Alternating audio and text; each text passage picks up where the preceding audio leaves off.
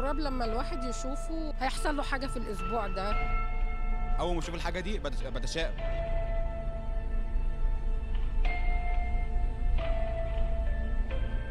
أكتر حاجة بتشائم منها لما تكون والدتي زعلانة مني. مفيش حد ما عندوش تشاؤم.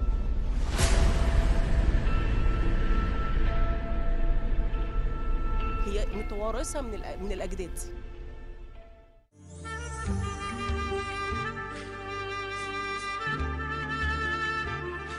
المصريين بيدوبوا في حضرة النبي صلى الله عليه وسلم. وعشان كده المصريين لما تابعوا حضرة النبي بقوا خفاف الدم. ليه بقوا خفاف الدم؟ لأنهم سمعوا إن حضرة النبي صلى الله عليه وسلم كان لا يرى إلا متبسما. وحضرته صلى الله عليه وسلم كان يحب إن الواحد يتفائل ولذلك المصريين قالوا النبي تبسم. إيه اللي حصل للمصريين؟ وليه بقوا عندهم عبوس؟ ويمكن تشاؤم؟ تعالوا نشوف إيه اللي حصل للمصريين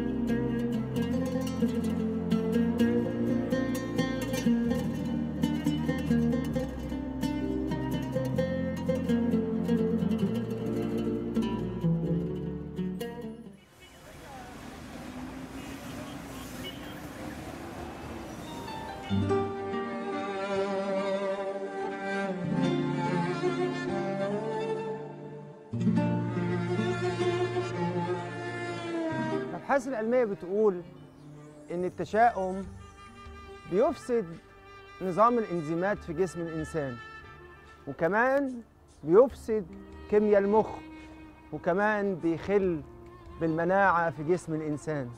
التشاؤم كله مشاكل وكله أضرار.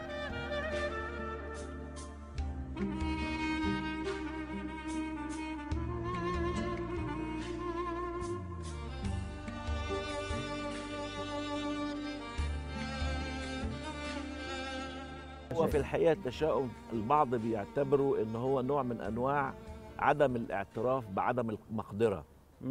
إن أنا فاشل ما بقدرش أعمل حاجة. فبدل ما أقول إن أنا فاشل أقول إيه؟ لأ ده في حاجات بتحصل بره هي اللي بتتسبب في فشلي ولو تجنبت الحاجات دي هنجح. بس في الحقيقة في الآخر ما بيعملش أي حاجة وبالتالي لا يصادف أي قدر من النجاح.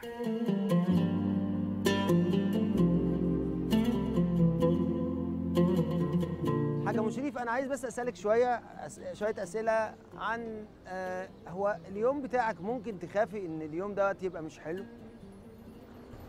خالص. لا متوكلة على الله. بتتكلي على الله. لكن بسألك هل في يوم من الأيام حصل ان اليوم من بدايته كده كان صعب؟ آه. بتعملي إيه في اليوم اللي بيبقى صعب ده؟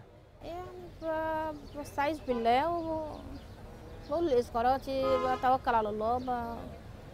كده. طب لو حصل إن أنت قابلتي حد آه، مش آه، بترتاحي له في أول اليوم ده بتحاولي تتخلصي من الأثر بيحصل لك حاجة في نفسيتك لما بتقابلي لا؟ لما بقابله ب... بقول له معوذتين. تقولي معوذتي لحد ما يعدي من قدام. ممكن لو واحد مش عاجبني ممكن أتشائم منه. في حاجة واخد بالك كده جاية كده كابوس كده بتشائم منه برضه. ما لك سوف يأتيك؟ هتتشائم عليه. في ناس معينة أنا حطاها في دماغي أما بيكلموني بتشائم منهم ممارسات قديمة من زمان. يقول لك أما بشوف فلان بتشائم. مش همشي لأني سايب كل حاجة على الله. أنا بتشائم من البومة. بيقولوا اللي هي يعني بي- لما بتقف مثلا على بيت بيحصل حاجة. بنقول للناس بص على اللي بيحصل حواليك ركز شوف الحاجات الوحشة اللي ممكن تبقى بالنسبة لك تحديات واستعد ليها. التخطيط عملية عقلية. مستعد ليها. مستعد ليها. حط كده خطة وخطة بديلة. تصور إن لو حصل الموضوع ده هتعمل إيه؟ ولو ما حصلش هتعمل إيه؟ فكل دي عملية عقلية ليس لها أي علاقة بالمشاعر. وتطور الأمر في علم الإدارة إلى إن في فرع من العلوم اسمه علم اوتوجينيك اللي آه. هو التفكير الافتراضي. إن نقعد نفكر في كل الحاجات الوحشه كل الحاجات السلبية اللي ممكن تواجهنا ونحط نفكر له- بس. نفكر. ونعمل خطة نعمل سيناريو لو حصل كذا هنتصرف إزاي؟ حصل كذا هنتصرف إزاي؟ بحيث إن في أي لحظة تظهر أي مشكلة نكون جاهزين نتعامل معاها. كل دي عملية عقلية ما بنبقاش يعني عملية عقلية بعيد عن المشاعر. خالص تماما. أما التشاؤم هو مش كده خالص. المشا... التشاؤم هو توقع السيء شعوريا. إن أنا أعيش الحالة السلبية إن أنا هتخرج مش هلاقي شغل. لو هو بيخطط يبدأ يسأل نفسه طب لو اتخرجت ما لقيتش شغل أعمل إيه؟ أنا عندي مهارات إيه ممكن أشتغلها؟ طيب لو أنا مثلا عندي مشكلة في الشغل وبشتغل خلاص لو رفضوني هعمل إيه؟ التشاؤم يقعد يزعل ويكتئب. لكن اللي بيخطط يقول لك أنا هعمل كذا. هروح أرجع شغلي مش عارف أشتغل في كذا. أنا عندي خبرة في كذا. فالفرق ما بين التخطيط والتشاؤم من التخطيط عملية عقلية فيها خطوات التشاؤم عملية شعورية تقفل الواحد ما يفكرش يعمل أي حاجة. يعني ما حدش يجي يبرر لنفسه إن plan B ده بيخلينا ناس متشائمين. لا خالص. ده موضوع وده موضوع تاني خالص. طول ما الإنسان بيحط خطط وبيشتغل وبي وبيتخيل مشاكل عشان يحلها هو كده في إطار التخطيط وهو كده شخص إيجابي. دكتور محمد في ناس بتدعو إلى المبالغة في ال extreme بقى في الناحية الثانية نقول نقول لهم إيه؟ آه إن يتفائلوا الحياة حلوة والحياة جميلة. وردية. آه نقول لهم أنتوا بتحبطوا الناس من حيث لا تدروا. يعني يعني ده أحد أسباب التشاؤم. هو احباط كمان لأن أنا بعلي عنده التوقعات إن الحياة حلوة والحياة جميلة ومفيش مشاكل أنت بس صدق إن مفيش مشاكل عمرك ما هتلاقي مشاكل ده غلط لأن الحياة فيها مشاكل فيها متاعب. أنا عاوز أقول له في مشاكل هتقابلك لو سمحت فكر فيها واستعد ليها. طب إيه الفرق ما بين اللي بيقول إن في مشاكل والمتشائم؟ اللي بيقول إن في مشاكل ده شخص واقعي بيتعامل مع الواقع دارس الواقع كويس فاهم تحديات الحياة فاهم إزاي هيحصل مشاكل وإن ده طبيعي إن الحياة ups and downs ده دي الحياة العادية عند أي بني آدم ولو مش كده يبقى حاجة مش طبيعية. التاني بيحط المشاكل ويرصها فوق بعض ويعمل بينها علاقات عشان يوصل في النهاية إنه بس مفيش فايدة قفلت. أنا مش مطلوب مني حاجة المتشائم بيقول لنفسه أنا مش مطلوب مني حاجة لأن الدنيا وحشة. الشخص اللي بيشتغل على الواقع الواقعي بيشوف الواقع عشان يحله ويتعامل معاه. اذا المتشائم ده إنسان بيعيش في مشاعره والإنسان الواقعي اللي بيخطط بيعيش بعقله في مفردات حياته. بالظبط. المتشائم شخص عمال يجمع المشاكل اللي حواليه ويسقطها على نفسه عشان يقول للناس ويقول لنفسه إنه مفيش فايدة وهي الدنيا كده وهتفضل كده. اتكسر فعلا ما بيتصلحش مش لازم التجربة تكرر نفسها كل مرة. زي ما نشوف قطة سودا فيقوم يتقفل تماما. المتشائم هو إنسان لابس نظارة سوداء.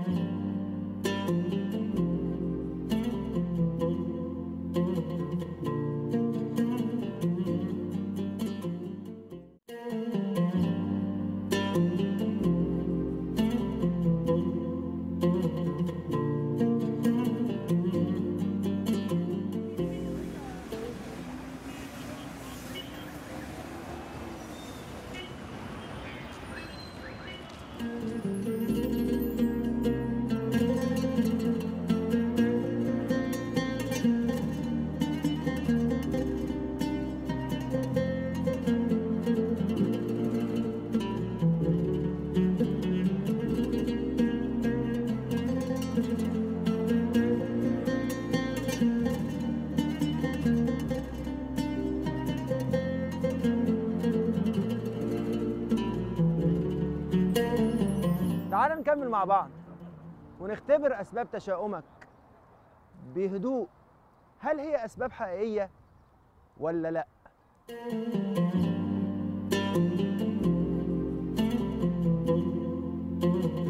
طول ما في تشاؤم في حياتك مش هتقدر توصل اللي انت عايزه. جارتي ديت بقى- وأنا بقول صباح الخير أختي سحبت. مثلا القطة السوداء أنا واخدة عنها يعني فكرة وحشة. حاجة تخليني أشوف اشوفه متشائم إن ممكن أتعب وما ألاقيش. بيقفل معايا اليوم كله.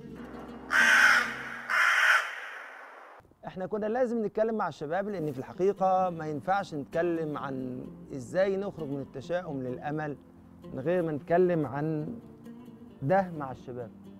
فاطمة انت إزاي في بعض الأحيان ممكن تمنطقي التشاؤم؟ هو في الأوقات اللي أنا بتشائم فيها التشاؤم بالنسبة لي ما بيكونش حالة كده بتيجي وتروح هي بيكون هي يعني مقدمة مقدمة بتوصل لنتيجة فأنا بيبقى عندي تصور كامل إن الموضوع ده هيبوظ بالشكل الفلاني فهو كده عندي تمسك بالموضوع لأن في بالنسبة لي تسلسل منطقي للموضوع مش حالة بتيجي أول وتروح. أول مقدمة بتسلم المقدمه الثانية في التشاؤم بتبقى إيه؟ حاجة يعني من من مشاعر قوي اللي هو متضايقة متنرفزة يعني بيبتدي متعصبة. بيبتدي التشا... بيبتدي التشاؤم بإن في واحد عنده مشاعر سلبية من جوه فبيبتدي بالمشاعر دي. تقريبا. ثم تقريبا. فده بيقعد يوصل بقى بيقعد بقعد ببني حاجات فوق بعض حاجات فوق بعض بيوصلني إن هو الحاجة دي سودة. التعميم ممكن يساعد في ده؟ يعني أكيد هي مش بيبقى تعميم هو بيبقى تجارب فباخد التجربة أحطها على الموقف ده فبيبقى حاجة زي كده فكل المواقف هتحصل كده. طيب محمود أنت متشائم الأيام دي من إيه؟ يعني هو عن واقع التجربة بصراحة ابتديت أحس إن اللي اتكسر فعلا ما بيتصلحش وإن الفرص ما بقت ما بقتش متاحة. زي لناس قبلنا مثلا. يعني بقى هو نفس يعني انت متصور يعني انت عندك تصور إن الفرص قبل كده كانت أكتر من الفرص دلوقتي؟ يعني طبيعي يبقى العالم فيه سبعة طبيعي مليار. إزاي بس؟ يعني العالم بقى فيه سبعة مليار بني آدم ولسه الأرض هي هي بمواردها هي هي. ف بس في يعني تكنولوجيا بتخلي الموارد تزيد يا مح- محمود. حقيقي. بس هو فعلا يعني ابتديت أحس إن القانون في الحياة إن اللي اتكسر لو أنا عملت آه، اختيار بس عايز أقول لك حاجة. فيه. آه. اللي اتكسر بيتصلح وبقى فيه فن اسمه فن تصليح المكسورات. يعني الأشياء المتكسرة دي بيبقى فيها فن وبتبقى أروع مليون مرة لما بتتصلح. محتاج مجهود ووقت فظيع واللي بغض النظر بس اللي بيتكسر بيتصلح. يعني أتمنى أتمنى بس أنت عندك حاجة خلال الأيام اللي جاية فيها حاجة؟ هي فيها حاجة وده كان بناء على تخطيط عشر سنين فاتوا. أيوه. فطلعت النتيجة مش زي ما كان محسوب لها خالص. ممكن تطلع أحسن من الم... آه، أحسن من المتوقع بس لا مش هو ده اللي أنا كنت راسمه. ولو أنا كنت أعرف كده من الأول لا ما كنتش اخترت الكلام ده من الأول. ف طب هل ده هعرف أرجع الوقت؟ مش هعرف أرجع الوقت.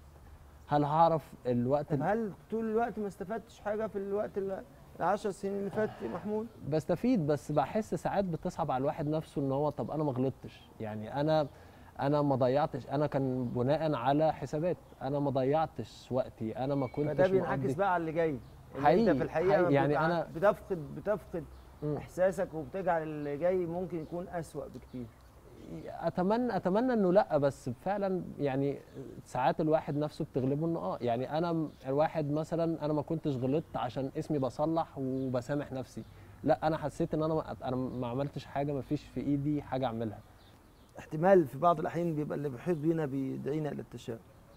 تعمل إيه يا مهدي لما يحصل الكلام ده؟ والله أنا حاسس إن ال- العادي اللي بقت الناس حوالينا أكتر تشاؤم من التفاؤل لدرجة إن لو الإنسان لسه متمسك بالأمل وعايز يبقى متفائل البيئة اللي حواليه لأ ممكن تجره ناحية التشاؤم. تحس الناس مش عايزة تسيبك في حالك لأ أنت إزاي فاكر إن الدنيا كده؟ أو إن إزاي لسه عندك أمل؟ أنت مش شايف إيه اللي بيحصل؟ أو أنت مش عايش في الدنيا. بس لأ أنا ببقى عايز أتمسك بالأمل ومش عايز الضغوطات دي تأثر عليا. بس في ناس للأسف ب... هل الناس بتعتبرك إنسان مش فاهم لما تكون متفائل؟ أحيانا ممكن آه. بتعمل إيه لما الناس تتعامل معاك بهذه الطريقة؟ مش عارف بس هي مش لازم التجربة تكرر نفسها كل مرة يعني مش لازم النتيجة النتيجة تبقى واحدة. هم مثلا بيبقوا مروا بتجربة معينة بس أنت فشلت. عارف أهو أنت ابتديت مش عارف بس أنت عارف أهو التجربة مش لازم مش تتكرر مرة لازم ثانية بالظبط وده اللي بيديني أمل لسه. طيب إحنا بقى عندنا في موروثاتنا حاجات كتيرة. إحنا كتير عندنا موروثات بتساعد على التشاؤم. زي إيه مثلا؟ زي ان صوت القرآن مرتبط بالأحزان أو جنازة الجنازة العزا عزا إيه تاني؟ زي نشوف قطة سودا فيوم يتقفل تماما. طب قطة سودا إيه؟ يعني إيه اللي يخلي اليوم يتقفل لما تيجي قطة سودا مش عارفة بس هو خيال وحش. اليوم ممكن يتقفل برضه وتيجي قطة خضراء أو قطة بيضة أو قطة آه كابتشينو يعني يعني إيه اللي خلى القطة السوداء مرتبطة بالأمر ده؟ في رأيك إيه اللي خلى القطة السوداء مرتبطة بالأمر ده؟ هل الفيلم اللي جه وهو اللي عمل كده ولا إيه بالظبط؟ إيه اللي عمل ارتباط بالقطة السوداء؟ متهيألي إنه ال... إنه عشان لونها اسود طب هل الناس كلها فاهمة إيه الارتباط التشاؤمي بالحاجات دي ولا الناس كلها لا. مشيوا ورا بعض وقلدوا بعض في مسألة التشاؤم ده؟ أعتقد دي حاجة اتزرعت فينا من وإحنا صغيرين ممكن من من المحيط ممكن من التربية بس هي حاجة مش. ملهاش منطق طب خلينا إحنا كلنا كده نحاول بقى نشوف قضية نخرج بيها من التشاؤم يعني لو لو حبينا نخرج من من جملة الأشياء دي من منطقة ال- التشاؤم ومن الخبرات ال- السلبية الداعيه للتشاؤم والناس ال- البيئة اللي بتسيطر علينا والموروثات اللي عندنا لو كل واحد حاول أنا عايز أشوف بقى أنتوا هتعملوا إيه؟ لو كل واحد فينا حاول يشوف إزاي ممكن نتخلص من التشاؤم. ده خليني أسأل سؤال عام. هل التشاؤم ده بي بينجحنا؟ هل التشاؤم ده بيجيب لنا حاجة جيدة؟ التشاؤم بيجيب لنا إيه في رأيك التشاؤم ممكن يجيب لنا إيه؟ فشل. فشل. يعني التشاؤم بلا شك بيفضي إلى الفشل. بالظبط. أو هو فشل قبل ما تبدأ. أنا أظن التشاؤم دوت فشل قبل ما نبدأ. إيه رأيك؟ مش عارفة في ناس بتسأل طب هو التفاؤل عمل لنا إيه؟ والله سؤال سؤال واقعي هنقول التفاؤل عمل لنا إيه لأن هو في الحقيقة صحيح التفاؤل عمل لنا إيه؟ ما هو أصل إحنا في الحقيقة التفاؤل عمل لنا إن إحنا خلانا مستمرين في الحياة ومحبين للحياة. كون التفاؤل حافظ لنا على حب الحياة فدي فايدة كبيرة جدا جدا جدا. كون التشاؤم خصم من حياتنا ومنعنا من الحياة دي مصيبة كبيرة جدا حتى لو إن التشاؤم ما وصلناش للفشل. التفاؤل جزء من مفهوم حب الحياة ولذلك لازم نفهمه بالشكل ده. إيه تاني؟ بس يا مولانا ساعات ما هو أنا كنت عارف كده فعلا إن التشاؤم سلبي بس النفس يعني أنا لا اراديا الأفكار بتطلع. ما هو يبقى إحنا مش عارف لازم أمسكها. وإحنا بنتعامل مع التشاؤم تمام. لازم نتعامل مع النفس. لأن إحنا لو ما دربناش نفسنا لو ما عملناش نفسنا يبقى التشاؤم هيفضل متوغل فينا. أنا ساعات بحس إن التشاؤم حاجة بدافع بيها عن نفسي لا يحصل حاجة وحشة فلما تحصل أقول إيه ده أنا كنت عارفة. فأنا بقدر آه، فانا بقدر التشاؤم آه. بحيث إن المسائل تبقى كده. تقريبا. المتشائم هو إنسان لابس نظارة سوداء على طول. آه بالتالي شايف كل حاجة حواليه سوداء. آه مش وطبعا ده بينعكس على نفسه إنه بيفقد الثقه في نفسه بعد شوية. مم. لأن اللي بيخاف من العفريت بيطلع له زي ما بيقولوا. يعني هو المتشائم في النهاية بيفضي بيه إلى الاكتئاب ممكن يفضي بيه إلى م- مش اكتئاب طبعا يعني مع مع تكرار الفشل نتيجة إن هو لم يتوقع الخير. ممكن ده يخليه يعني مكتئب شوية. هل التشاؤم ليه درجات؟ طبعا طبعا. في ناس متشائمين من كل حاجة يعني يعني آه، مجرد إن هو يشوف قطة سودة. يتشائم. فيرجع ما يروحش الشغل. ما ينزلش الشارع. فكرني بواحد كان آه، شاعر زمان اسمه ابن الرومي كان متشائم جدا جدا آه، جدا. آه، آه، آه،. شاف مرة نخلتين لاسمين لا و... آه، وتمرة الا تمر راح راجع لا بيتهم. تمر. بالظبط. هي زي ما حضرتك بتقول كده هي قراءة الأحداث والوقائع بشكل سلبي. وبالتالي ما تعلمش الدرس في أول موقف سلبي وبالتالي تكرر الفشل وكل ما بيتفش ما بي- بيتكرر الفشل أكتر كل ما بيبقى صعب إن الواحد يتخلص من هذه الإيه النظرة. مهما نشرح له بقى نقول له يا ابني أنا ش- امبارح شفت 10 قطط سود وما جراليش أي حاجة وفي خم- 500 غراب كان واقف فوق البيت عندنا وما جراليش حاجة اطلاقا. ده ما بيأثرش إلا إذا إن هو هتكون يعمل هتكون خلاص النظره السوداء تمكنت منه آه، وخلاص ما بقتش وعشان يخرج. منها لازم نبدأ معاه نخليه يعمل إنجازات. يعني واحد مثلا رايح يقول محاضرة. يعني ده ممكن نقول إيه اللي ممكن يخرج الشخص من الفشل؟ آه، لازم نعوده على الإنجاز. نخليه يمر بخبرات إنجاز ولو بسيطة. فلما يمر بخبرات إنجاز شوية يبدأ بقى يثق في نفسه أكتر يبدأ يعني يقبل على الحياة أكتر. يبدأ بالتدريج كده يعمل يدخل في المواقف اللي هو كان بيخاف منها وهكذا. إنما آه، فكرة التشاؤم وساعات بيبقى تشاؤم من أشخاص معينين. صحيح. تخيل إن إن الأشخاص دول ممكن يكونوا أقرب أقرباء الإنسان. صحيح. ممكن يكون أبوه ممكن, ممكن يكون, أخوه. أخوه في لحظة معينة لدرجة كده. لدرجة إن هو يعني لو مقبل على مشروع أو عمل وقابل الشخص ده بالصدفة يرجع تاني ما يكملوش. يقول لك أصل فلان ده أنا عمري ما شفته وحصل لي خير. إيه رأيكم إن إحنا نقول إن إحنا عشان نقدر نخرج من التشاؤم مش هنخرج للتشاؤم إلى الإكستريم إلى مسألة التفاؤل التام اللي هيخلينا نعيش حالمين في اللالا لاند مثلا. إيه بقى اللي هنقول بقى؟ هنقول إن إحنا هنطير في حياتنا بجناحين.